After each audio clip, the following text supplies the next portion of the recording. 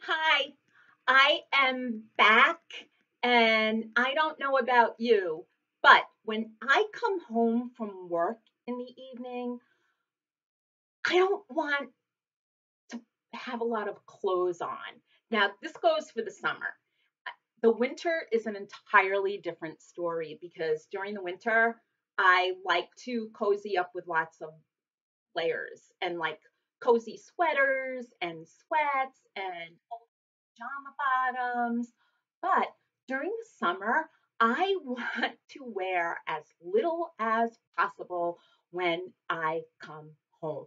And even during the dog days when it gets really super, super hot, I don't want to wear a lot of clothes. Not that I'm a nudist or I'm going to run naked around the house.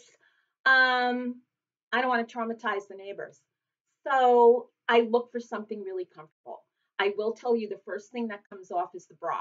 I have that down to a science. I can unhook it and then just like slide it through a sleeve.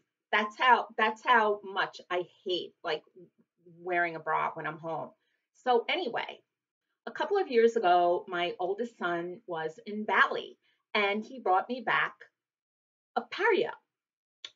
And I keep having to pause whenever I say that word because I think of paleo for the paleo diet. Anyway, I've decided to start wearing this as a lounging dress at home. Hold on, let me actually let me lower this so you can see what it looks like. It's just one ginormous piece of fabric and it makes for a cute at home dress. If I was going out, I would probably want a longer piece of fabric to make a longer dress from. But as it is, this piece of fabric makes a great, like, at home mini dress. Let me turn around so I can show you. Here's the opening. You can wear a pin or belt it. Here's the back. I tied it in a knot. And all I did was take the fabric, wrap it around me, roll it around, and then tie it. So that's it. This is a real short one, like only a couple of minutes.